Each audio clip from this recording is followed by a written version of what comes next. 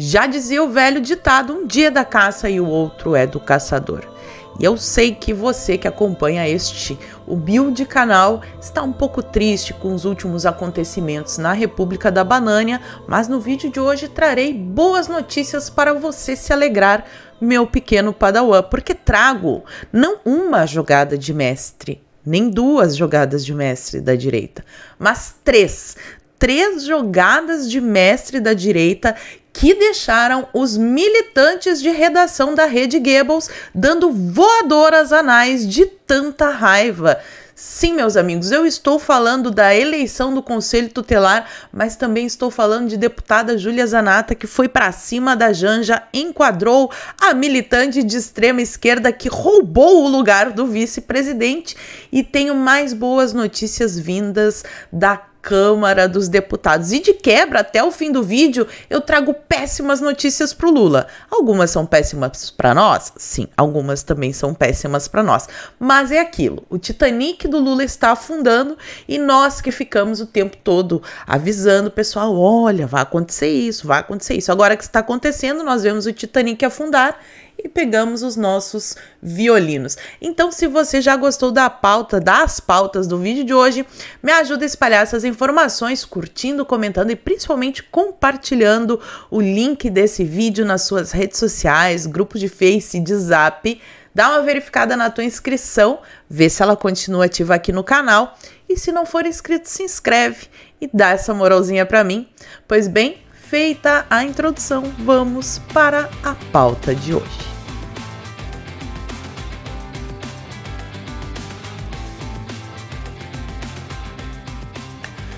Vamos começar com ela, a nossa querida amiga e também muito amiga do seu Zé Dirceu, pesquisa aí quem não sabe da fofoca, a dona Mônica Bregamo. Mônica Bregamo, para quem não sabe, é colunista da Folha do Seu Paulo, é amiga ali da galera do PT. Foi ela que conseguiu fazer a entrevista quando o Lula estava preso, porque ele é um ex-presidiário, ele esteve preso, e a Mônica Bregamo foi lá entrevistá-lo. Então, este comentário que eu vou ler para vocês é de uma militante de redação da extrema esquerda. E ela postou o seguinte no Twitter: lendo as reações, percebi que o fato de ter sido justamente sob governos do PT que a polícia da Bahia se transformou na que mais mata e o Estado ter índices de violência sofríveis gerou em alguns militantes um terraplanismo de negar o que não dá mais para ocultar nem mais para calar Bom, vocês viram no dia de ontem toda essa treta aí envolvendo o, o caos na segurança da Bahia e agora vem a própria Mônica Bregamo dizer: gente, a Bahia foi governada pelo PT, o presidente é do PT, tá tudo PT, e assim, não tem como colocar a culpa em outra pessoa neste caso. E, e a grama é verde. Olha a que ponto chega a incompetência, eu, eu, não vou nem falar as outras coisas porque eu não quero ser presa, né? Chão de beijo. Mas assim, incompetência, vamos colocar nestes termos, da esquerda. E esse é o resultado, sempre vai ser. Então, espero aí que as pessoas aprendam para que a gente possa evoluir na próxima eleição e parar de eleger a extrema esquerda para comandar um, um país tão rico como o Brasil. E por falar em presidente do Brasil, vocês sabem que o Lula passou por uma cirurgia no final de semana, até a Janja veio ao Rio Grande do Sul uh, roubando o lugar do vice, coisa que eu também já comentei em outros vídeos, só voltem aí atrás se vocês quiserem assistir. Mas Lula voltou, está se recuperando e eu acho que ele deve ter chamado a agência de turismo lá para mostrar os catálogos, porque ele já está escolhendo as próximas viagens. É o presidente do turismo. Então tem aqui a notícia da Central da Política. O presidente Lula retomará viagens em novembro, mês que vem. Lula definiu as duas viagens internacionais que fará após se recuperar da cirurgia do quadril.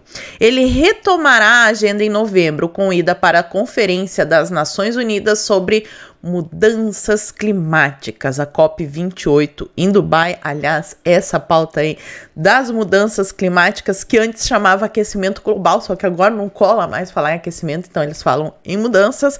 A gente tem que ficar bem de olho porque isso infelizmente está avançando. Mas passemos aqui para a primeira jogada de mestre ela, maravilhosa, deputada federal por Santa Catarina, Júlia Zanata, vem fazendo um excelente trabalho e postou nas suas redes sociais as medidas que ela está tomando para que se pare essa usurpação do cargo da presidência por conta da primeira-dama. Ela não foi eleita, ela não tem cargo, ela é só a primeira-dama. Ela deve até fazer trabalhos sociais, mas assim, ela não pode substituir o presidente né? Então, a Júlia Zanata postou o seguinte: quem elegeu Janja? Já estamos acionando o TCU e o Ministério da Casa Civil para que o governo explique os gastos exorbitantes com viagens de Janja e substituições, entre aspas, do presidente Lula em compromissos oficiais. Mais uma vez, a esquerda se lambuza no poder e esquece que a primeira-dama não integra formalmente o governo e não pode usurpar de funções constitucionais do vice-presidente e ministros de governo. Pausa aqui no post da Júlia. Gente, eu preciso de um meme da Janja como a usurpadora. Lembra daquela novela mexicana? A Janja é literalmente a usurpadora. Mas voltemos aqui ao post da, da Júlia Zanata. Recentemente tivemos o posicionamento do TCU sobre o caráter de autopromoção das publicações do governo petista, em resposta ao ofício enviado pelo nosso gabinete, inclusive alertando para o fato de que não há suporte legal para menções de Janja nos canais oficiais fortes indícios de que estão agindo em desrespeito à lei. Esbanja, além de não ajudar, atrapalha, dá mau exemplo e manda a fatura para o povo pagar. Essa é a política que eu quero. Deputados, senadores que vão às redes sociais, tudo bem reclamar, né? Reclamar da Janja, eu reclamei, você reclamou, mas assim, o deputado ele tem uma caneta, ele pode tomar atitudes. Então aqui, Júlia Zanata mostra com perfeição como é que se faz. Vai para rede social, reclama, mas mostra o trabalho que o teu gabinete está fazendo. A Júlia já teve uma vitória com relação a SECOM. E agora vamos ver aí o que, que o TCU e o Ministério da Casa Civil irão revelar sobre os gastos, quanto está custando a presidenta que ninguém elegeu, Janja a usurpadora. Passemos agora para a segunda jogada de mestre da direita, que foi com relação às eleições dos conselhos tutelares que aconteceram no último final de semana e que repercutiram demais na internet. Olha só essa matéria da CNN. Bolsonaristas fazem ofensiva por conselhos tutelares. Esquerda reage. Conselhos tutelares foram criados de acordo com o Estatuto da Criança e do Adolescente e têm o objetivo de garantir o cumprimento dos direitos dos jovens com menos de 18 anos.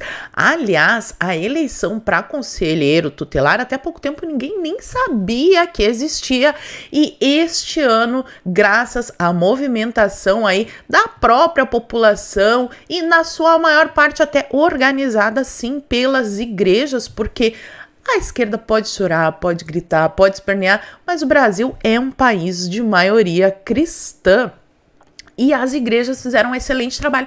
Aliás, tem tudo a ver, né? Proteger criança, o cristianismo. Eu acho que é uma pauta que combina bastante. Então, dá uma olhadinha aí nesse trechinho de imagens de como foi lotada a sessão de votação neste final de semana para os representantes do Conselho Tutelar. Para vocês verem a quantidade de pessoas interessadas em votar que, inclusive, a informação que eu tenho é que é a primeira vez que isso acontece.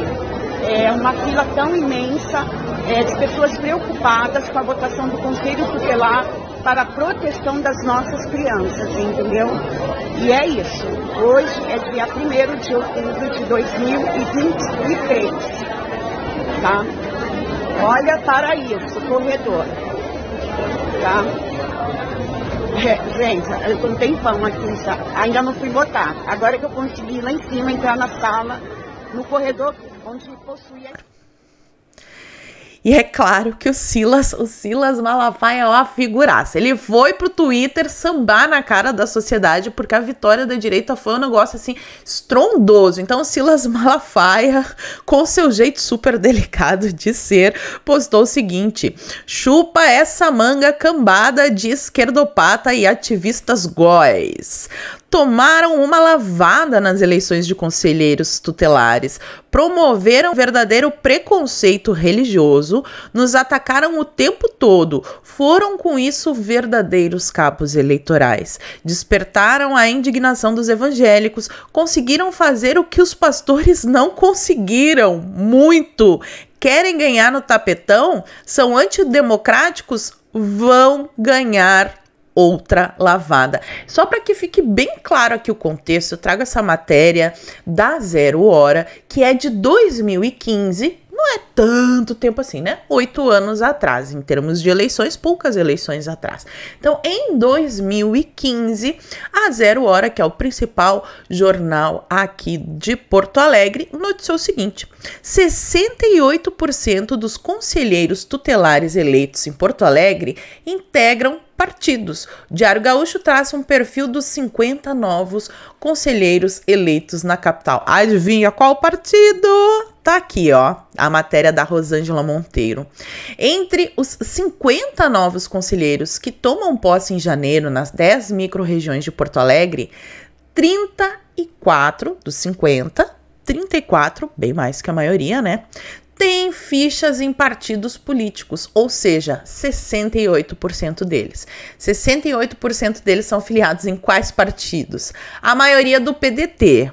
PDT 14 com a mãozinha, florzinha, símbolo do socialismo barra comunismo partido do prefeito o José Fortunati.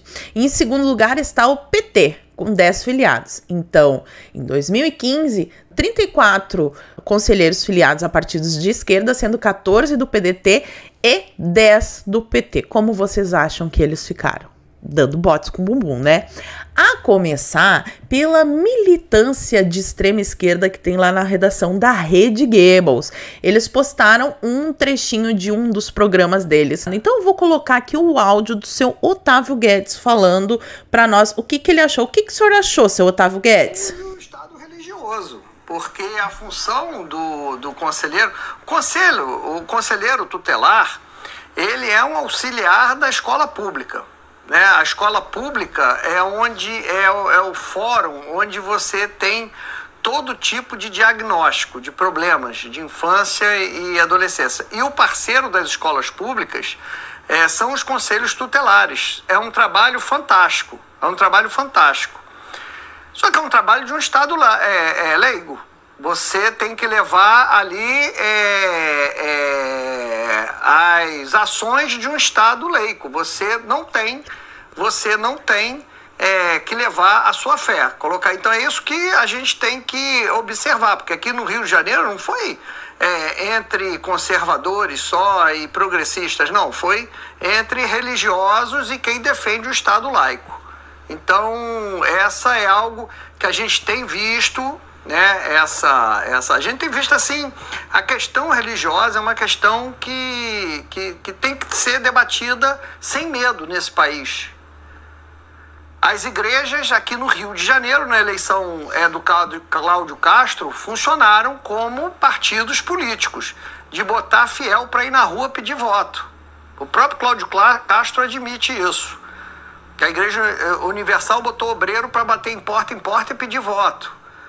Então, é, e há um medo, assim, de se tocar, de parecer preconceito contra uma determinada religião. Mas eu vejo no Conselho Tutelar, mais uma vez, essa tensão que é pouco debatida no país, é, de um extremismo religioso, né? Não, sem querer generalizar. Eu já estou falando não de Conselho Tutelar mas eu vejo ali de pastores que pregam o evangelho do ódio, né? enfim. Mas a Igreja Católica, historicamente nesse país, também sempre se envolveu em assuntos. Nunca deu para dizer que o, Brasil era um Estado, sempre foi, a República foi laica. Não foi. Só ver um monte de crucifixo que tem nas repartições públicas. Agora, mais do que direito. Então aí tá cada vez mais claro que o, o, pessoal ali da a militância de redação da Globo, o que eles querem combater é o cristianismo. O cristianismo incomoda demais. Fiel da igreja não pode, obreiro da igreja, bater na porta, pedir voto. Só pode o pessoal que é da ONG, o pessoal que acredita na religião do Estado, ou seja, o, o socialismo, né? Aí pode o pessoal do DCE, pode o, o pessoal das ONGs, funcionário público, todo mundo pode pedir voto. Agora, o pessoal da igreja não pode pedir voto. Ele faz uma confusão ainda entre Estado laico, leigo, nem ele sabe mais o que diz, mas vou me guiar aqui pelo post que a Globo News fez, ele falando que o, Bra o Brasil é um Estado laico. Ok, Estado laico é uma coisa, Estado ateu é outra. No Estado ateu é que as pessoas não podem pro pro professar a sua fé. Aqui é um Estado laico todas as correntes religiosas podem se manifestar. Se o pessoal do terreiro de Ubanda quiser sair pedindo voto, pode também. A esquerda pode se, se mobilizar. Por que, que vocês estão tão nervosos? Essa foi só a primeira a primeira eleição que de fato houve uma movimentação gigantesca da direita e já deixou vocês com o bubu nervoso, né? Mas vamos adiante, porque a Globo não para, não para, não para, não. Ela faz muitas matérias e até eu vou esclarecer algumas coisas que saíram aí também, foram bem debatidas nessa semana na, na rede social. Então, primeiro aqui, começando com a matéria da Globo, tá revoltadíssima, falando que pautas no STF disputa por conselhos tutelares indicam direito organizada a um ano das eleições municipais. Eu até gostaria que ela estivesse mais organizada. A gente ainda não está tão organizado assim e já conseguimos vitória, só para vocês verem como é possível sim. Então, o Globo diz: a mobilização da direita em torno de temas que estão sendo julgados pelo STF impulsionou campanhas de oposição à legalização do aborto e disseminação de fake news que relacionavam o governo à suposta liberação de banheiros unissex em escola. Então aqui o Globo tá dizendo que não tem nada a ver com o governo. Eu fiz um vídeo, mostrei assim que este conselho, que eles não falam banheiro unissex na resolução, eles falam banheiro que as pessoas vão no banheiro de acordo com o que elas sentem que são. Então se, a pessoa tem um pênis, se sente mulher, ela vai no banheiro feminino, o que na prática é um banheiro unissex. E que o conselho foi escolhido pelo governo, por pessoas escolhidas pelo ministro, pelo governo, que são pessoas de esquerda, eu mostrei tudo no vídeo. Então assim, fake news é isso que vocês estão fazendo aqui, mas adiante, né?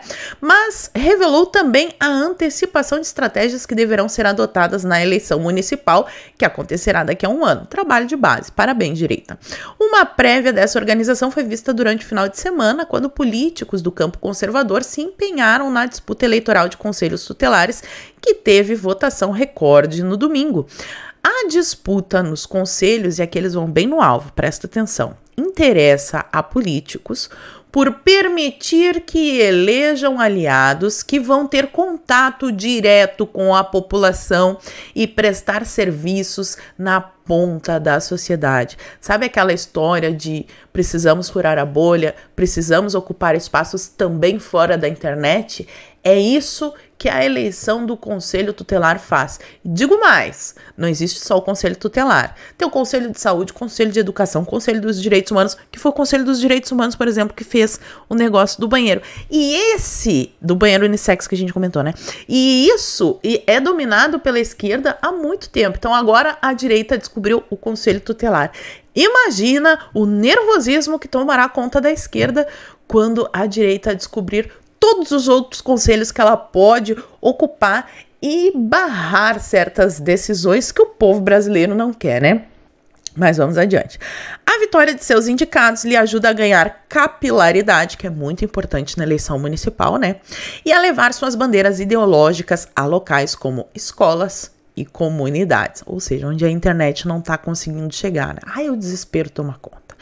Cabe ao conselheiro tutelar zelar pelo cumprimento dos direitos da criança e adolescente. Eles agem em casos de vulnerabilidade de menores de idade, como abandono e maus tratos. E diga-se de passagem, os movimentos aí da causa do arco-íris estavam muito organizados colocando posts e chamando o pessoal para votar, né? Então, a, a, organização social ganha quem conseguir mais votos. A esquerda pode se organizar, o movimento do arco-íris, a igreja, o candomblé, todo mundo se organiza, quem tem mais voto ganha. Não é assim a democracia, não é assim. Mas aí saíram algumas matérias sobre o seu ministro dos Direitos Humanos, o seu Silvio Almeida, que deixaram a galera meio revoltada. Algumas o pessoal não entendeu muito bem. Vocês sabem o quanto eu sou crítica, mas assim, não tem como culpar o ministro por algumas coisas que aconteceram, mas outras mostram o quanto eles sentiram essa derrota. Começando aqui por matéria da Veja. Conselho Tutelar. Ministro pede ação da AGU contra a eleição em três cidades. Vamos ver o que, que aconteceu aqui, porque o pessoal começou a dizer que porque a direita tinha vencido, o seu Silvio Almeida estava uh, querendo anular eleições. Mas neste caso aqui, ele não teve culpa. Ó. Segundo Almeida, os municípios de Uberlândia, Minas Gerais, Rio Largo, Alagoas e Santana do Ipanema Alagoas escolheram seus representantes por meio de eleição indireta, ou seja, não foi o povo votando lá, foram alguns escolhidos que votaram no conselheiro. Então, isso daqui é suspeito, porque o rito é eleição direta, né? Eles não cumpriram. Então, com votação feita por colegiado formado para escolher os novos conselheiros. Em todo o país, as eleições foram feitas por meio de voto direto. Qualquer cidadão com situação eleitoral regular poderia participar. Ou seja, o povo nessas regiões não foi convocado a comparecer às urnas para votar e escolher os seus conselheiros e conselheiras tutelares. Nestes casos, um colegiado é formado para decidir o pleito. Tal forma de votação contraria o ECA e a resolução do CONANDA, o Conselho Nacional dos Direitos Humanos, diz o ministro em nota. Então, neste caso, ele está certo. É só se organizar nessas cidades que a gente consegue a vitória também. Né? E aí o outro que repercutiu bastante foi esse daqui. Defensoria Pública recomenda que votação do Conselho Tutelar em Belo Horizonte seja anulada. O que, que aconteceu em Belo Horizonte? Por lá, a Defensoria Pública de Minas Gerais recomendou que a votação para o Conselho Tutelar seja anulada, a orientação surgiu depois que eleitores da capital mineira relataram problemas para votar no domingo.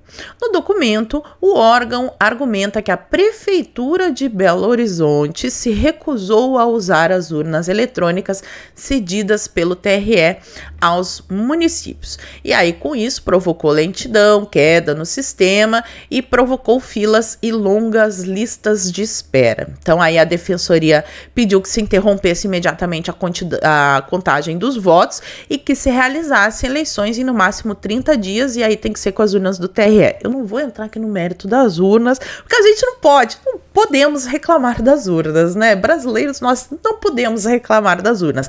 Agora, Todas essas eleições que a direita teve vitória em todo o Brasil foram realizadas com votação direta e as urnas do TRE. As que saíram desse padrão estão sendo anuladas e serão refeitas. Eu acho neste campo que assim, se foi estabelecido o critério, a eleição tem que ser dentro desse critério. Então não podemos, não podemos criticar o ministro por conta disso.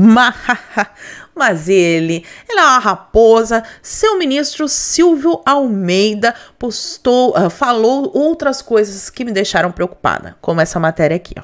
Silvio Almeida fala em aprimorar eleições para conselhos tutelares. E toda vez que um comunista fala em aprimorar uma coisa, meus amigos, coloquem o seu bumbum colado na parede, porque lá vem a giromba voadora. O que, que ele quer fazer? Ele diz que não tem problema, muito pelo contrário, que ele acha que a democracia tem que ter candidaturas com perfil conservador, com perfil progressista, pessoa de fé, pessoa ateia, tudo isso, que ele não vê problema nenhum em conservadores e a direita participar da eleição. Parece que o problema dele é só quando a gente ganha. Mas enfim, vamos aqui. Então, o ministro acrescentou que a pasta que comanda tem planos de melhorar a atuação dos conselheiros tutelares e pretende encontrar um meio para responsabilizar aqueles que se distanciarem da missão que deveriam cumprir. Ou seja, eles vão encontrar uma forma de enquadrar os conservadores. Já fica atento aí quem se elegeu. Então, o ministro fecha aqui dizendo que eles são funcionários e devem ser valorizados por isso, mas também tem que ter a responsabilidade que tem os servidores públicos. Bom, segundo ele, a única modificação feita será na forma de divulgação das candidaturas. Vamos acompanhar, porque a gente sabe que quando a esquerda fala que ela quer aprimorar uma coisa, ela quer eliminar todos os adversários políticos. Todo mundo que não concordar com ela será eliminado. Tem que ser extirpada terceira jogada de mestre. Bom, vocês estão acompanhando aí que o STF está uh, votando para a liberação ou não do aborto. Enquanto isso, lá na Câmara dos Deputados, nossos maravilhosos parlamentares estão correndo para aprovação do Estatuto do Nascituro, que aí acabaria com esse negócio brasileiro não quer a legalização do aborto. E a esquerda está indignada, porque olha só o que o pessoal fez. Conservadores escolhem deputada grávida para relatar o Estatuto do Nascituro. E aí tem a foto dela maravilhosa, Priscila Costa, lá do PL do Ceará, com sua barriga linda, gigantesca. E o que, que poderia simbolizar melhor o Estatuto do Nascituro do que uma relatora grávida. Eu achei genial. Inclusive, quem falar qualquer coisa contra ela está cometendo violência contra uma mulher grávida, é gravidofobia e tem que ser enquadrado no conselho de ética. Quem não concordar com a Priscila Costa tem que ir para o conselho de ética. Essa é a minha opinião.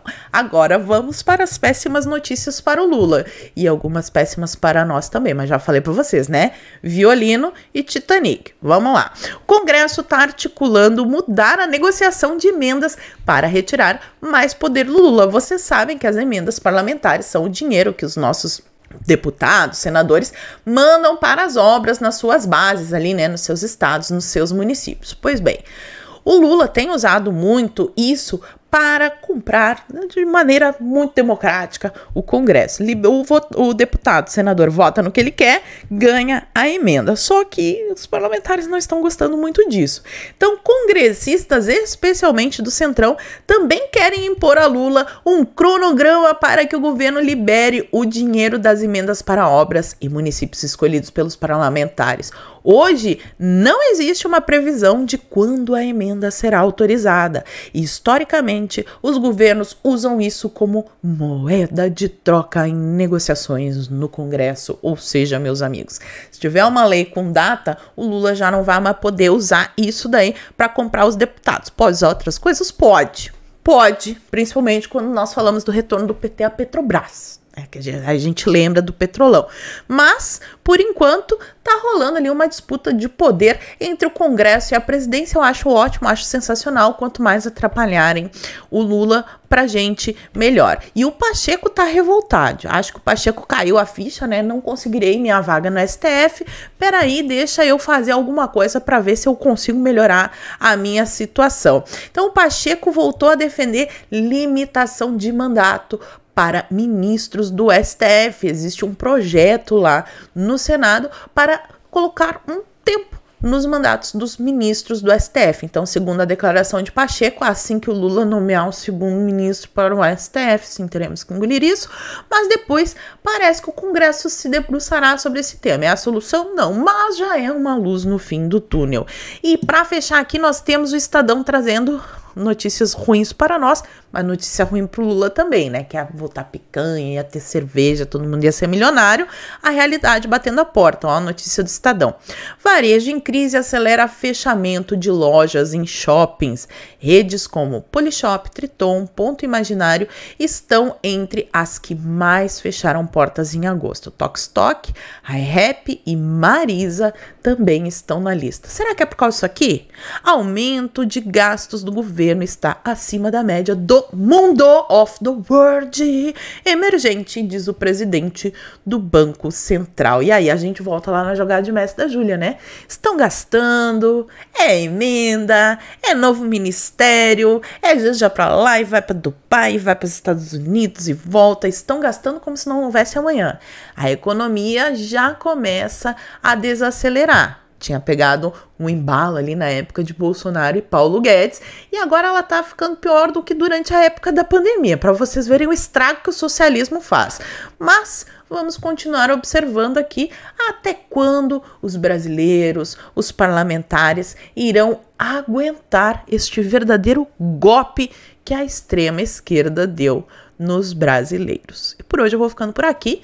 Muito obrigada por terem assistido ao vídeo até o fim. Fiquem todos com Deus. Um beijo e até a próxima. Fui.